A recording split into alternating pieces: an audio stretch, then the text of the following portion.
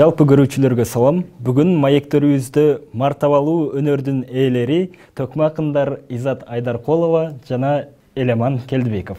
Мына ушул төкмөлүк өнөрдүн ээси болгондон кийин эми эл журт менен төгүп бир учурашып кеттиңиздерчи. Эй саламатсыңбы агайын саламдашып алайын. Аламүдүн суусундай мен атырылып агайын эй эл аман менен бул күнү келип калган убагым супер тв каналын көрүп турган убагым көңүлүмдү элимеңа бөлүп турган убагым ей ақ қалпағын киінген асылдығы білінген аталарым аманбы жолығын салынған бір құдайға жалынған апаларым аманбы. Изат менен ел аман қашыңардан олтыруа силерге айтам саламды. Қарап қарап отырсам биерге бір бірінің сырларын білішкендер көлчеле күйөө менен эр болып сүйүшкен күндер келчеле. Э ар нерсени сүйлөймүн таң калып турам изат жана булар бизди не дейт таңа жерге келип турамын ушул жерден карасам эй жакшың ойду тактайлы канаң алга кадам таштайлы. Мен дагы эл менен саламдаштым даңа ооба маектерди баштайлы. Бириңиздер кереметтүү аксын кыз экениңиздерди анан бириңиздер өрүк сарылуу баткендин уулу экениңиздерди билебиз. Бирок кантсе да кеп башында өзүңүздөр тууралуу дагы бир кеп козгоп кетсеңиздерчи мен ошо жалал абад облусунун ак сары айылына караштуу кызыл жар деген Э, сонун бир кереметтүү э, айылда төрөлгөм. Э, баягы мөмө жемиш бышыкчылык баягы дарбыз коон десе биздин айылды мөмө чөмө десе ошо биздин айылды элестете турган ушундай кереметтүү айылда туулуп өскөм. Ошол жакта окуп ошол жакта өсүп чоңоюп дегендей. Азыр үй бүлөлүү азыр үй бүлөлүүмүн бир уулдун энесимин. Жакшы. Сиз? Мен баткен областынын лейлек деген райондун маргун деген айылда туулганмын ошол жакта өсүп чоңоюп бияка келип урдап калгам үйлөнө элексиз. Жок. Карт бойдок төкмөлүк өнөр менен чоң сахнага болгон жолуңуздар качан башталды? Меники тогуз онунчу класстарды бүткөндө эле айтыштык окуучу болом да. Туруп жатсам турсам. Кийин ошол аталарыбыздын арбагы колдоду же кудай дагы берди ошолордун арбагы дагы колдоду окшойт. Ушундай касиет конду деп ойлойм анан элмирбек устатыбызга келип сабак алып андан кийин өөрчүтүп адам акын болдук мен ушу өзү негизи мектеп кезде мектеп куракта бир онунчу класста окуп жүргөнүмдө анан атам айткан да атам да мындай чыгармачылыкка жакын киши анан. Кызым ушул э, төкмөлүк өнөргө бир аз өзүң бир аз баягы ыр жазып кичине мен өзүмдүн эми бир аз болсо дагы чымынымды байкаган чыгар атамчы анан ушул төкмөлүк аракет кылып көрбөйсүңбү? Мен да жардам берейин деп ошентип өзүнүн сунушун айткан анан мен ал кезде жаштык кылганмынбы? Анан коюңузчу кыздардан төкмөлөр деле жок анан бир чети мындай уялуу дагы сезими күч болсо керек ал мезгилдечи анан атамдын сунушун четке кагып эле коюңузчу деп койгом анан кийинчерээк өзүм акыркы жети сегиз жылда ушул айтыш өнөрүнө болгон кызыгуум күчөп анан өзүм издене баштадым акындардын айтыштарын такай көрүп акындарга жолукканга таңсык болуп дегендей. Жакшы элеман мырза сиздин өзгөчөлүгүңүз башка төкмөлөрдөн комузу жок төккөнүңүз анан азыркынын барпысы деген да атка кондуңуз. Ким жол көрсөттү бул комузу жок деле төксөң болот деп? Же өзүңүз кааладыңызбы ошол нерсени? Өзүм өзүм каалап түшүп кеттим дагы эмес бирок ошо дагы десем болот.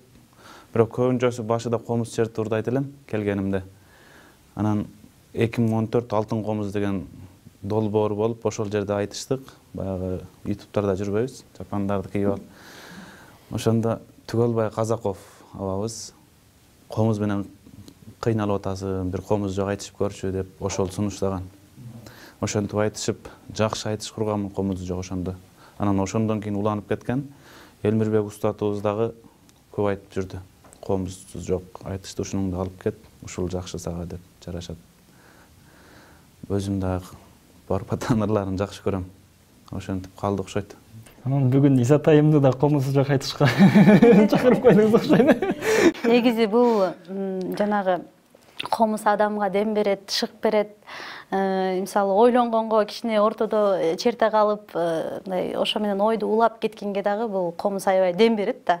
Анан бул элден өзгөчөлүгү эламандын бул артыкчылыгы деп эсептейм ушул комузу жок айтышкандыгы бул жакшы нерсе.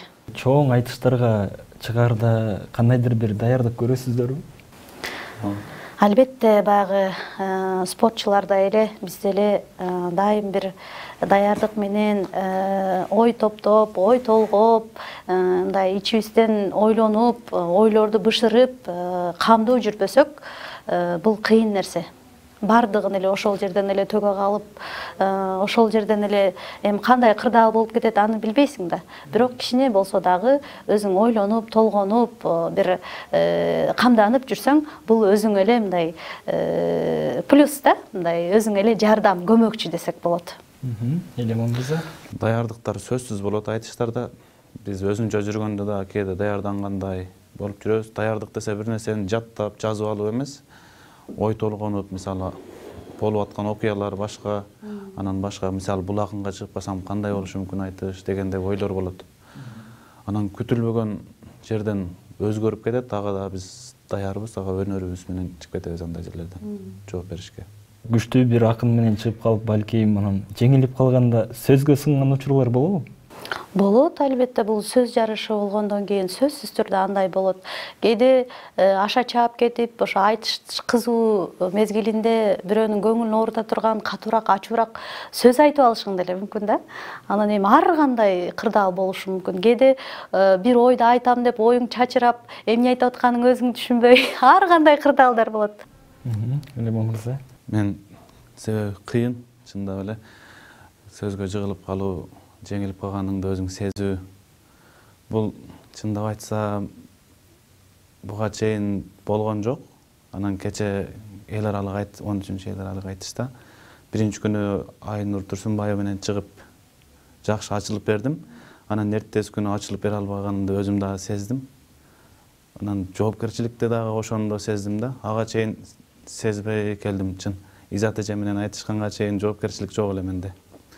Коркпой айтышып сахнага дагы коркпой чыгып себеби баягыдай жок да мени эч ким тааныбайт сахнадан. Себеби биздин айылдан деле айтышка келбесе керек деп ойлоп эле коркпой эле жеңилсем деле бирөө жеңилип кетти да деп ойлойт дедим деп жүрчү элем кийин жоопкерчилик пайда болду эл тааныгандан кийин сиздер айтышкан төкмөлөрдүн ичинен мындай сиздер өзгөчө баа берген өнөктөшүңүздөр ким болгон эми ар бир акындын өзүнүн өзгөчөлүгү бар. Биз деген э, ошол элдин көңүлү үчүн э, элдин маанайы үчүн э, биз кандай болсо дагы жакшы айтыш куруп берүүнү аракет кылабыз да берүүгөчү менин баалаганым изат болгон. Ошол айтышта мен дагы ачылып бердим окшойт изат эже дагы ачылып берди. Негизи бул кыздар менен аял заты менен айтышканда бул башкача ачылып кетет анда бүгүнкү маектин ортосунда ушул жерден бир айтышып бербейсиздерби бири бириңиздер менен ушул жерден эми мен комузу жок келип алыпмын ал үчүн кечирим сурайм эми эламан менен комузу жок тең тайлашуу кыйын бирок аракет кылайын э келиңиздер эй эламан чыксаң айтышка камчысы жок чабасың камчысы жок чапсаң да катардан калбай барасың үйлөнбөйсөң минтип көп жүрсөң көчөдөгү элдерди даң ар ойго сен саласың жүрө бербейсең сен минтип кара көз качан табасың апаңды сен сүйүнтүп келиңдүү качан кыласың эжекеңдин кебин сен эмнеге эки кыласың менден кийин эламандын ырлары ооздон чубасын бул сөздөргө жооп берип эламан ырын курасың эй анда эмесе баштайлы көп ырлардан таштайлы эй карап карап отурсам ей жакшырларың бол дейсин жашың өтүп баратат катын алгым бол дейсин сөзүңө келейин жакшылап жооп берейин ей көп нерсенин ырдайсың. Уга элекмин изатжан сага окшоп көп ырды кура элекмин изатжан өткөндө мага көнбөдүң шондон бери депрессиядан чыга элекмин изатжан. Э, эламан сен уктап жаткан мезгилде замандар жатат өзгөрүп. Сен уктап жаткан мезгилде адамдар жатат өзгөрүп. Сен жалгыз өзгөрбөйсүң а ушулардын баарын көз көрүп энекеңдиң эли аман кубантып кетсең болгону. Көрөрмандардың ырда деп сурантып кетсең болгону. Эжекеңдин ырларын ар убакта такалбай улантып кетсең болгону болгону эй карап карап отурсам ачылбай жатат багыбыз жаман жери бар болсо ме камерадан түрдүрүп өтүп туруп бергиле биз тантырап төгүп койдук буңа кесип туруп бергиле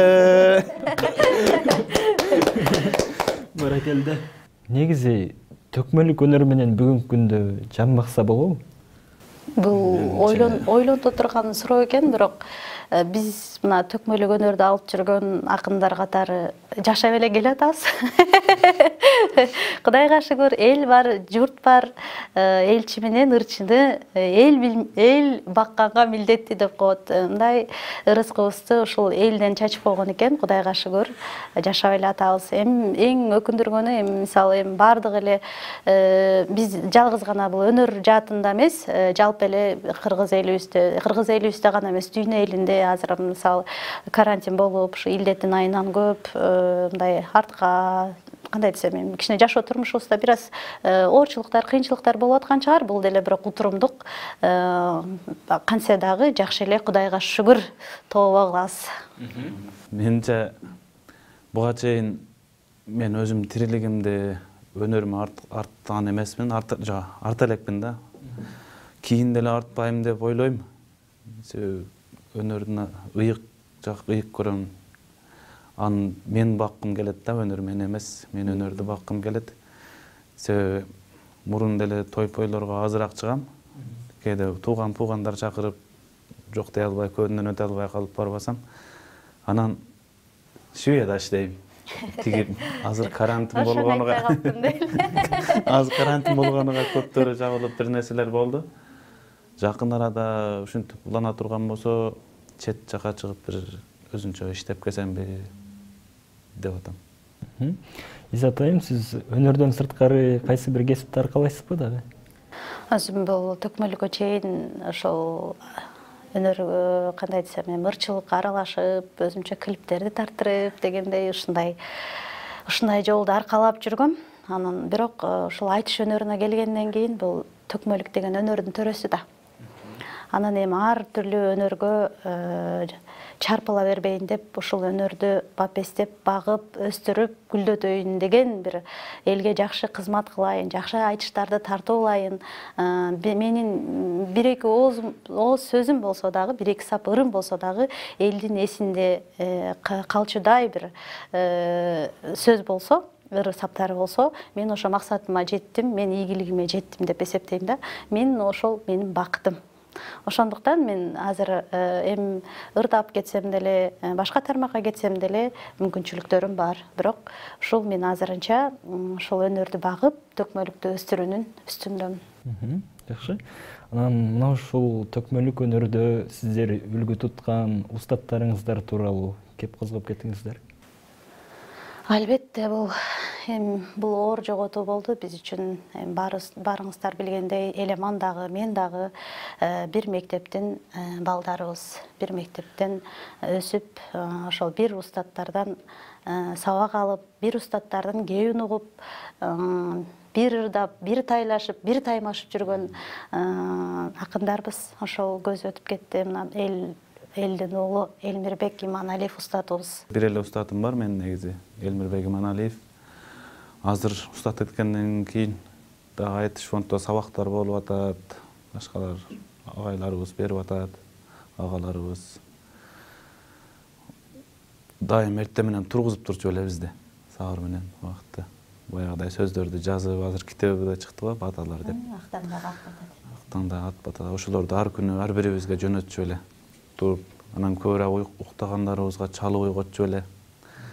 Анан алда алдай алдап дагы тургузчу эле мындай күндө ким эртең менен сабакка келсе жетиде жетиге чейин келип калсаң акча берет эле ошентип бул эми баягы айла жоктуктан табылган ошол шыктандыруунун дагы бир ошентип чыктандырып алдап дагы эми алга бир акча үчүн деле эрте шашып барбайсың болгону мындай устаттан кечикпейин уят болбоюн деген бир жоопкерчилик менен. Маегибиз соңуна чыгып барат сиздерге эркин микрофон.